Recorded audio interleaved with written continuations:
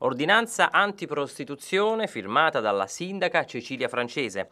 L'atto, valido dal 15 giugno al 15 ottobre, è stato emesso per esigenze di sicurezza finalizzate alla prevenzione di fenomeni anche di rilevanza penale sulla strada provinciale 175 litoranea.